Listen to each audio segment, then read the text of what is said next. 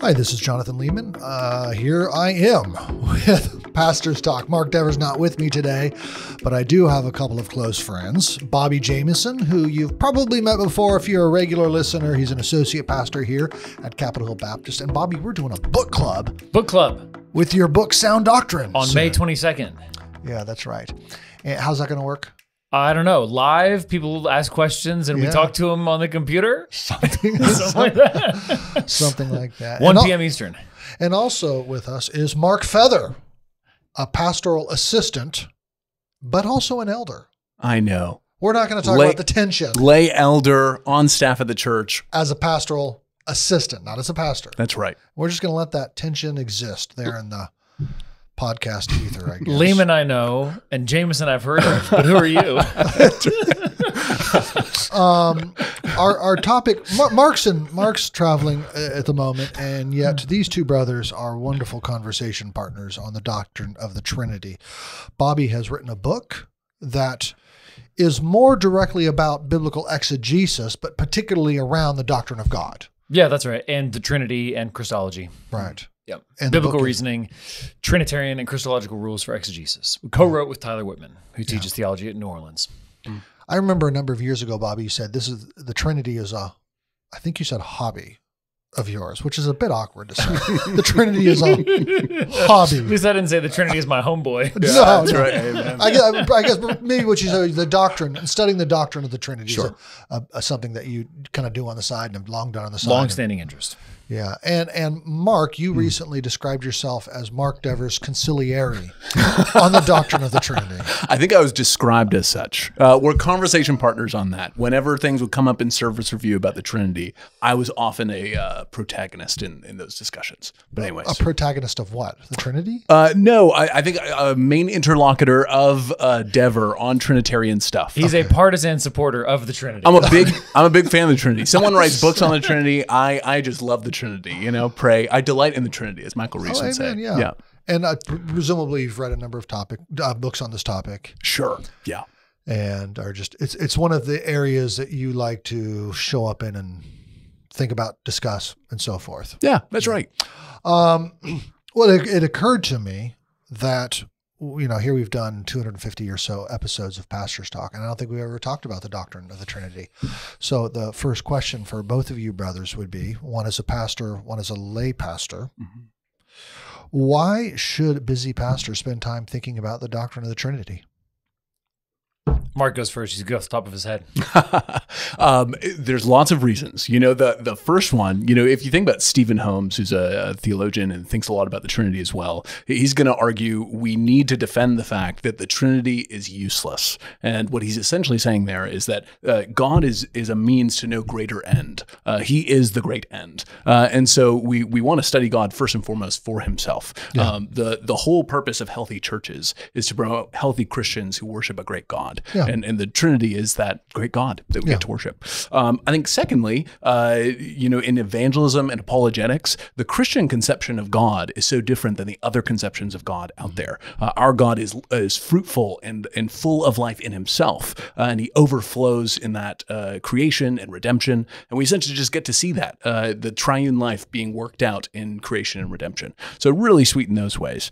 Uh, I think uh, it, it the Trinity is really key for putting together the rest of your doctrine. If you are off on the Trinity, there's probably going to be downstream effects in the rest of your. Yeah, that's right. Yeah. Yeah, Mark gave us three good reasons. I would add a couple more or some other dimensions to those. One is that um, the doctrine of the Trinity is a theological workout in a number of senses. So we're thinking about God in Himself, God as He has existed from all eternity.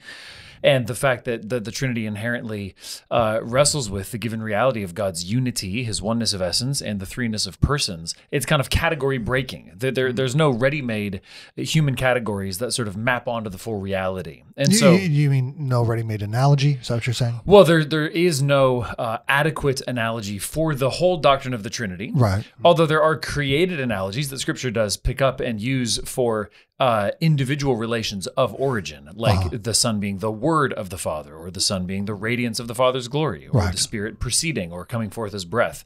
Uh, so there are analogies to individual uh, relations of origin. Though there's no good analogy for the whole Trinity. No, Uh, sh- no shamrocks. No, parts shamrocks, no water. ice, ice, water, vapor, all that kind Yeah, of stuff. Um, so it's a theological workout in the sense that we ha- we have to stretch beyond all creaturely categories. So it's it's humbling, it's formative theologically for us to be Okay, wrestling but- with. pa- pa- pa- Yeah. pause. I'm sorry. Wor- workout. Okay, but, why? Why is that crucial? Why is that crucial? Well, uh, for for a pastor's I mean, yeah, it stretches my brain, but so does calculus. I mean, Oh, sure. But uh, in terms of getting to know God, Uh-huh. getting to know the unity of Scripture, as Fred Sanders puts it, the Trinity is a great big doctrine. It, it takes in the whole uh, s- terrain of Scripture and requires us to put it together from the very beginning to the very end. Mm-hmm. Uh, the Old Testament prioritizes the oneness of God Mm-hmm. and kind of prophetically foreshadows in some mysterious and riddling ways his Mm-hmm. his internal uh, plurality of persons. The New Testament, with the coming of Christ and the pouring out of the Spirit, gives us the the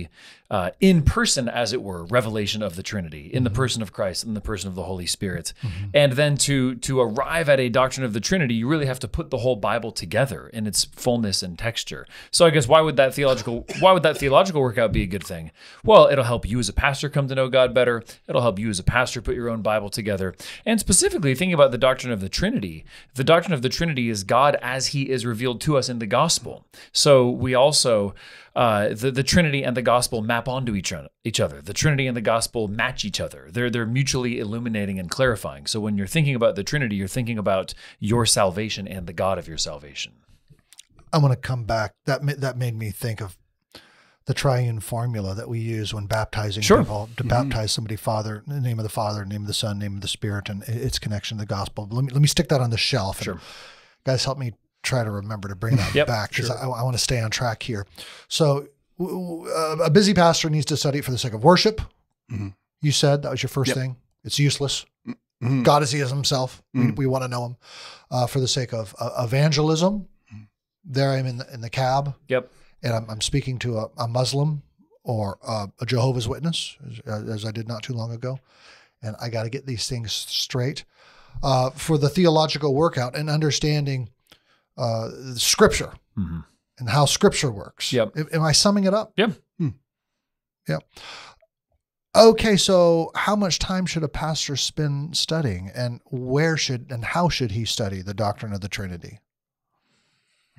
Well, those questions are tough because they vary based on a pastor's gifts, background, training, responsibilities, resources, all kinds of things. Okay, Um, okay. How about let me let me let me tighten it. Yeah.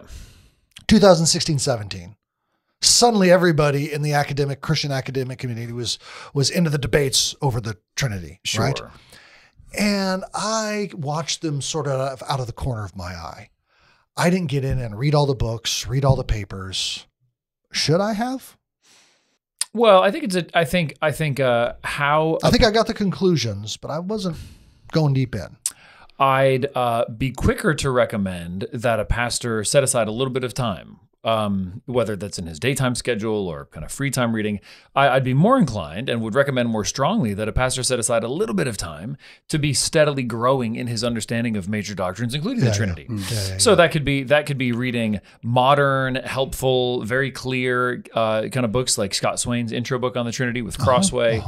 Um, it could be reading kind of classics like Athanasius on the Incarnation or his letters to Serapion, republished as works of the Spirit, uh, Athanasius and Didymus, uh, or or like a really beefy book like an Augustine, you know, on the Trinity. Yeah. Which that's going to be more for a pastor with a real serious theological appetite. But I'd I'd encourage a brother either to to read kind of really helpful contemporary stuff, a Steve Holmes, Fred Sanders, Scott Swain, uh, or classics that have stood the test of time, rather than necessarily kind of you know feeling bound to to follow whatever theological debate may be going on on the internet at the moment.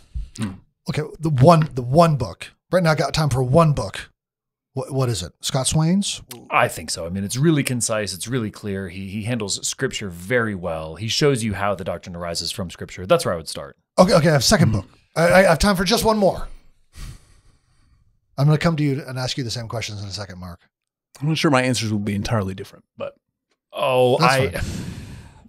Uh, I'm really torn because I think biblical reasoning could fit into that second there you go. slot. Biblical reasoning. But I'd really have some rather have another man praise okay, me. okay, and not my own okay, okay, okay. A third, a third book. A third, Uh, a skipping third- over that one, two and a half. Uh, Two and a half. Um, uh, I'm not sure. What's your follow up book? You would say you would Uh, start with Swain as well.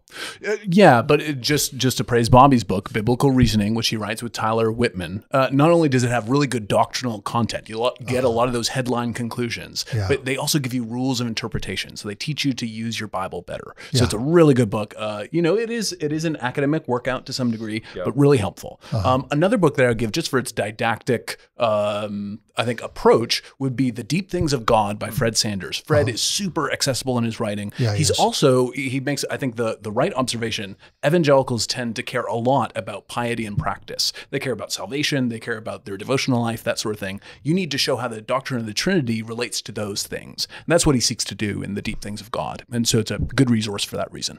Cosign. Now, I think I, I told you guys this. I, I took a, a PhD seminar in the Trinity back hmm. in 2005. And it seems like the conversation has changed a little bit. Um, we read Augustine. Sure. We read the Cappadocians. You know, that's that is what it is. I, I think maybe the course at the time that the favorite book uh, for people was was uh, Robert Letham's book Sure. on the doctrine of the Trinity. The Holy Trinity, I think. Yeah, that's right. Uh, b- but more recent, uh, none of you guys mentioned that book. What what happened? If have things changed in the way people think and talk about the Trinity between when I took that PhD seminar in 04, 05, 05 and today?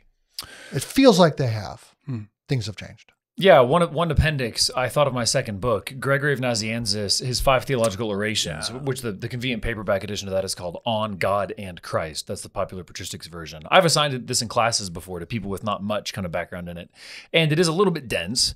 Uh, but they're five really rich sermons that go through kind of the knowledge of God, doctrine of the Father, Son, and Holy Spirit, and you you get in a very uh, rhetorically powerful, compressed kind of version, really classical Trinitarian theology, wrestling deeply with biblical texts. So I would say Gregory of Nazianzus uh, is a great kind of primary source. Okay. Um, you know, Jonathan, to your question about what's changed in the last 20 years, there has been kind of a, a harvest of patristic scholarship. Lewis Ayres, his his big book Nicaea and its Legacy is a very very close reading of the development of pro-Nicene theology, major figures like the Cappadocians, really an account of fourth century Trinitarian theology as a whole, and that that was kind of a new epic in in patristic studies and Trinitarian theology. What year was that published? That was 2004. Okay. And there's been a lot of kind of cleanup work and refining stuff since then. I think I think um some clearer understanding of especially yeah, fourth century Greek speaking Trinitarian thought has kind of been filtering its way in to evangelical theology through works like those of Lewis Ayres and others. I think there's also been a broader grappling with more scholastic elements of our Christian theological tradition. So whether that's wrestling with people like Aquinas uh, or even going back to Augustine, um, or especially like Reformed scholasticism, figure, figures like uh, Turretin or Mastricht has been recently republished. I mean, Mastricht has an awesome 80 pages on the Trinity. In his volume on the Trinity, the kind of Trinity proper section is really good. It's it's dense. It's it's uh, some some heavy uphill climbing, but he starts every section with exegesis. Uh, he there's a devotional kind of application at the end of every section, and and in typical scholastic fashion, there's a lot of really careful distinctions. But it's just a supercharged 80 pages. So I think people have been wrestling with um, evangelical theologians. I think have So a lot of this is the what folks refer to as the retrie- ret- retrieval. Yes, growth there's of been a lot of good retrieval happening, and I think, frankly, there's also been um, some development in wrestling with how do we get these things from Scripture. Um, there's been, I think, an infusion of some of these things in modern biblical scholarship. Scholars like uh, uh, uh, Richard Bauckham, Kavin Rowe, even Wesley Hill's more recent book from like 2015. Um, so I do think there's been some crystallizing, refining, advancing. You know, nothing brand new. The Trinity's the Trinity, and, and the Church has known the Trinity all along. But kind of harvesting some riches from our own, what's what's been at our theological disposal all along that maybe we haven't taken full stock of. Yeah, yeah. Yeah. Changing direction slightly. How does Trinitarian theology impact church life? Hmm. Well, uh, to borrow from the shelf that you had earlier, uh, the ba- baptism is a great example of that. uh and so everyone enters into the church and into the Christian life publicly through being named by the triune God. Uh, they're they're identified with Him, uh, and so that that certainly is is. I think, typical of the Christian life that our life is one lived in fellowship with this great God. And in some sense, I think this is Scott Swain in his book. He's basically unpacking Matthew 28, uh, the baptismal formula that Jesus gives us, uh, that the whole of the Christian life is just growing into that name uh, and knowing the one in whom we have been baptized. I think also, and this would be borrowing from Letham's book, uh, The Holy Trinity, that God's approach to us in his Son and through his Spirit is the way in which we ascend back to God in worship. And that's borrowing from Ephesians as well. Is it Ephesians 2 or, Yep. or, or Through him, we both have access in one spirit to the Father. That's right. Two. So as God comes to us uh, through His Son and in His Spirit, in His Spirit and through His Son, we draw near to the Father. Michael Horton's really good in that in his book Yeah. on the Holy Spirit, Yeah, using that formulation over and over. Yeah. So that's a, a good resource for people. and I mean Sinclair Ferguson on his book on the Holy Spirit, he he'll often opine that uh, you know we often think about this the Trinity as this uh, philosophical abstraction. Uh, it's, it's so hard. Why why give our, our thoughts to such a great mystery? But he said when Jesus wanted to comfort his people on the night when he was going, or the night before he was be betrayed, John kind of thirteen through seventeen, a lot of it is just Trinitarian theology. I want to comfort you with the Spirit who's going to be here, and That's a I, great point. through that Spirit, are going to be with you. So it's an eminently practical doctrine if it's applied well. It's funny people don't think of it as practical though Yeah. at all. hmm And so if I should okay, just unpack that for me a bit more. It's practical because when somebody is struggling with discouragement, what? I, I don't come to them talk to them Yeah. about you know th- three persons, one nature. I, I what what is it in that moment? Say of pastoral counseling, or in that moment of leading people into prayer. What is it that's practical about the doctrine of the Trinity? Just trying to unpack what you just said. Yeah, I think a couple of things. So, one, one of the great promises in Scripture is that God would be with us. And so, Jesus in that upper room discourse is going to say, I'm not going to leave you as orphans. I'm going to send you my spirit. And in my spirit, I will come and be with you, and my Father also. And so, insofar as you have the spirit, Christian, you're not alone. Though you're you're struggling through a hard providence, though there's suffering in your life, though there's sin in your life, your God is with you. Um, I think I think also whenever we're dealing with sin and problems with assurance associated with that, um, the the rock solid assurance is that the the Spirit of God is working out the the great plan of God's redemption in your life through sanctification, and that you ultimately stand before the Father based on the work of the Son of God. And so the whole triune God is working for your redemption amidst all your your big bad sins in your life. There's just a few different ways to apply it. You know, Jonathan, I, I agree entirely with Mark's answer. And one way you can answer this question would be to to look at The question of what does it impact the church's life? Yeah. Or how's it practical? Yeah, Both. th- yeah, Yes. yeah. You could read through Romans 8 and ask, what impact does the doctrine of the Trinity make on Christian life and practice? And it's just everywhere. You know, thinking about the Spirit being life in our bodies, uh, chapter 8, verse 10, uh, putting to death the deeds of the body by the Spirit, the Spirit who dwells in us and empowers us, uh, the Spirit bearing witness and assuring us in chapter 8, verse 16, that if that we are children of God, if children, then heirs, heirs of God and fellow heirs with Christ. So, so there's a there's a Trinitarian shape and structure to the Christian life that's deeply assuring, empowering, comforting. Uh, yeah, I mean that'd be a good exercise to kind of just bring that question to the whole chapter of, of Romans chapter eight. If you're thinking more about the corporate life of the church, Well, hold, hold, yeah, hold that thought. yeah, I want to come back to it. So, are you saying it's almost as if I, as a Christian life, I'm, or Christian, I'm, I'm, going through a series of struggles. I'm waking up in the morning and I'm, I'm, I'm, you know, begging Lord for help with this or that and so forth. There's almost a sense in which I'm interacting with God as Trinity. I'm kind of, you know, I know He's a comfort with me, but I know He's advocating for me as I'm thinking through different persons of the Trinity. I, I, I know the Father has sent and ordained these things in, in my, Yep. so it's just hmm. subjectively, as it were, thinking in prayer and thinking in uh, a Godward direction.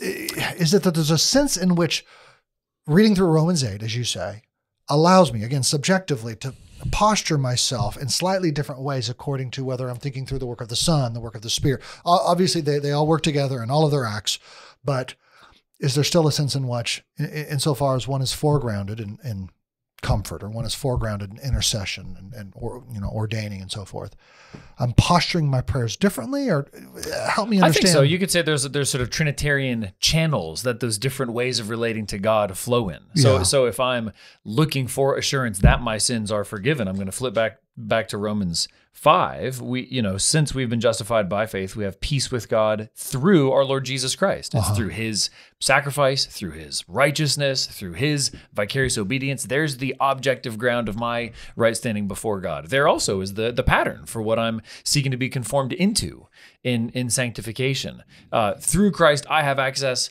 to God. That that there's an intrinsically Trinitarian shape to that that confession, that comfort, that assurance. How do I know God is for me? Because Christ is my righteousness. Because I have been reconciled to God through Him. You know, as, as Paul goes on and says in, in verses 10 and 11, I rejoice in God through Jesus Christ, through whom I've now received reconciliation. So even, even you know, in that sense, that's appealing to Christ as mediator, uh, which again has an, an implicitly Trinitarian structure to it because we're not excluding Christ from the Godhead when we relate to him as mediator, but it's that God himself, God mediates God to me. You know, God, the, the Spirit interceding for us, uh, Christ at the right hand of the Father. Yeah, that me, even mediation, right, is, is, is, is Trinitarian in the sense that it's the Son through whom we're, we're, we're approaching the Father through the Son. You had a corporate point to make.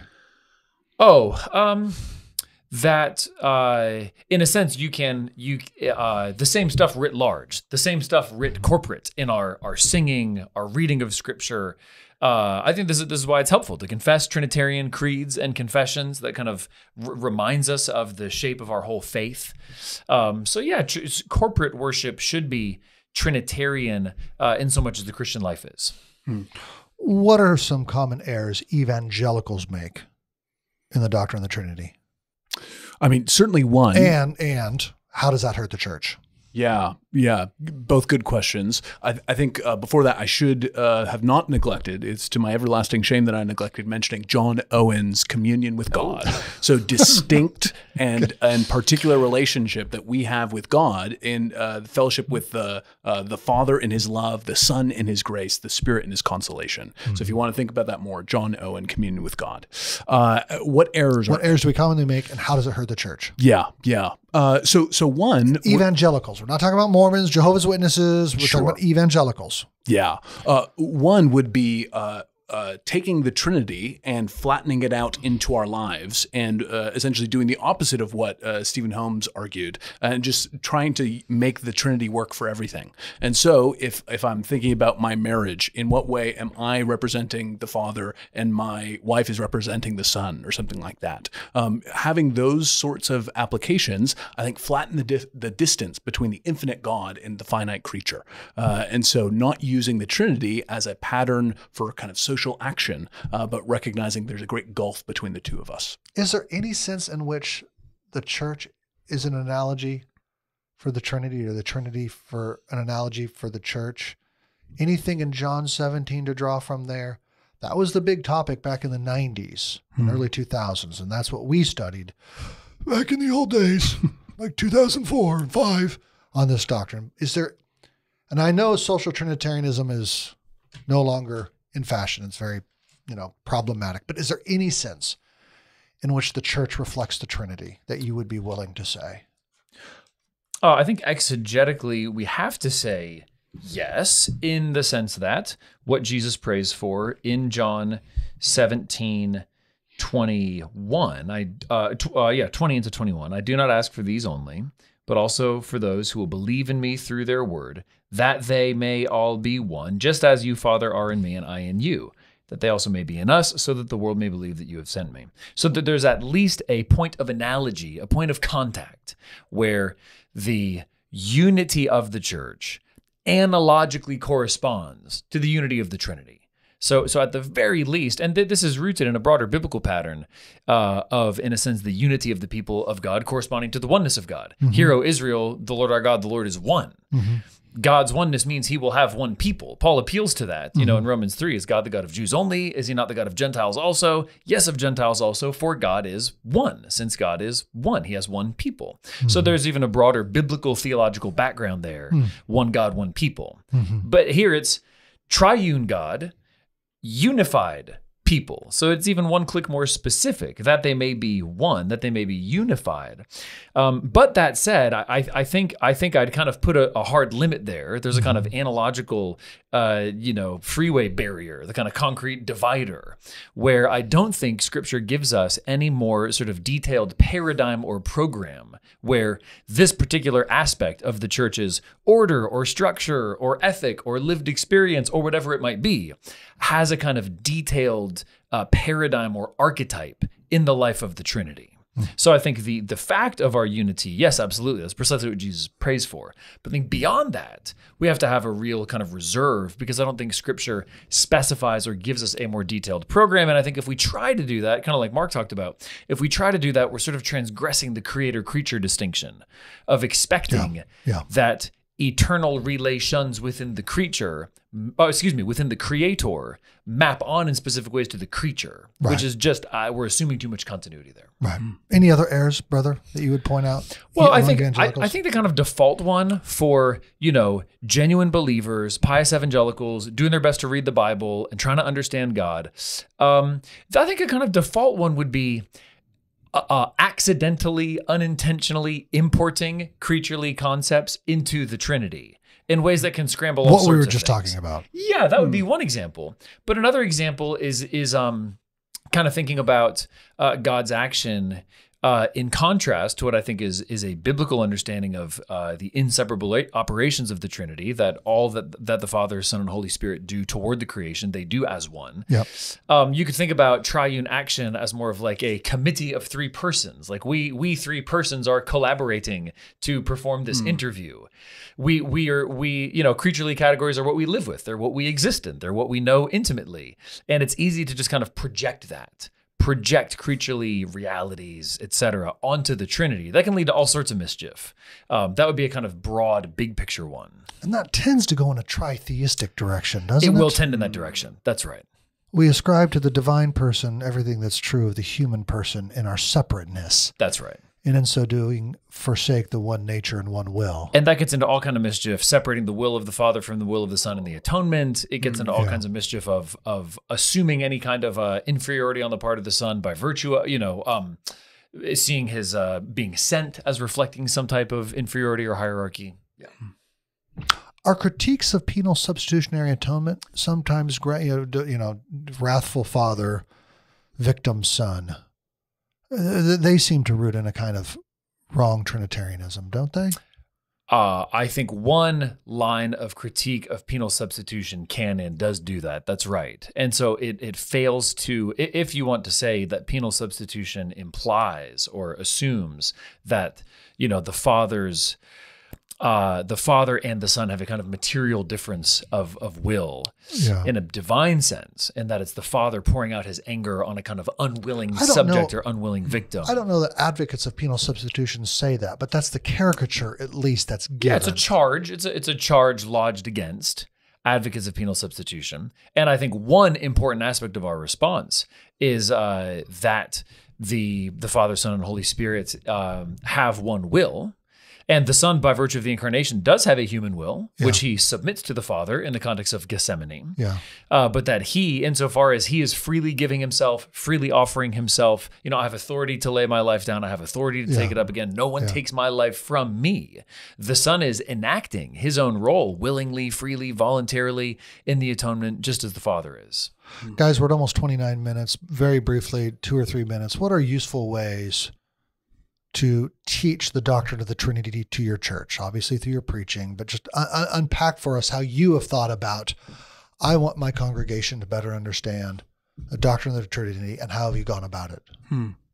Certainly, hand out good books. Uh, it's an easy way to get good theology. And all into the, elders at CHBC read the Scott Swain book. Scott Swain, yeah, And we read biblical and reasoning biblical too. reasoning. That's right. So a good way to train up your elders in a kind of theology time, and then they can disciple others. and then you're giving it to members of the church as well. That's right. We want Okay. to encourage discipling relationships that would think through some of these things. Uh, more than that, I think within corporate worship, uh, you know, a, a lot of uh, corporate worship is going to be Trinitarian. When we're praying, we're praying uh, to the Father, through the Son, in the Spirit. Uh, uh, we are going to be reciting uh, creeds, using those uh, historic forms of expressing our faith Yeah. uh, and growing into those confessions. Uh, I think in, in topical classes that we have, core seminars here at our church, uh, it would be a great thing to be studying some of those texts in a systematic way that exposition doesn't always afford when you're just uh, preaching one passage. Uh, so a few different ways there. I have an article on this on Nine Marks called something like Teaching the Trinity Through Expositional Preaching. And so I try to address Excellent it, piece. especially for that kind of main meal of the church. But I also suggest some of the things Mark does, having other teaching contexts like adult Sunday school classes, giving away books.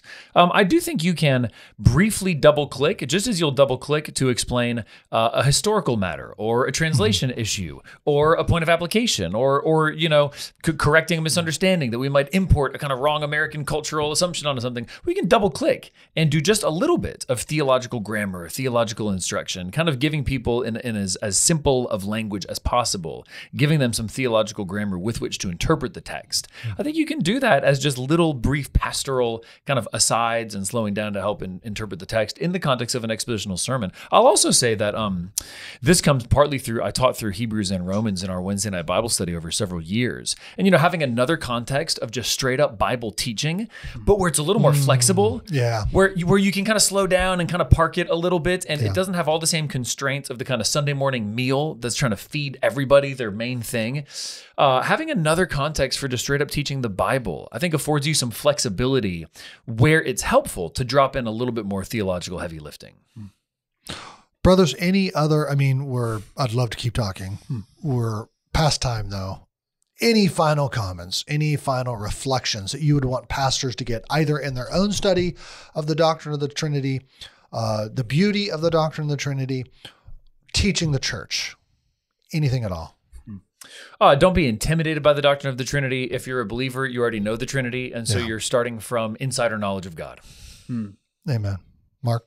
Uh, it's a good word. I think also be charitable. As other people are learning the doctrine of the Trinity, we can easily become the Trinity police. Uh, use the wrong preposition there. Be charitable with others. Uh, we're all growing to talk about our Father better. Amen. Thanks, guys, for your time. Thank you.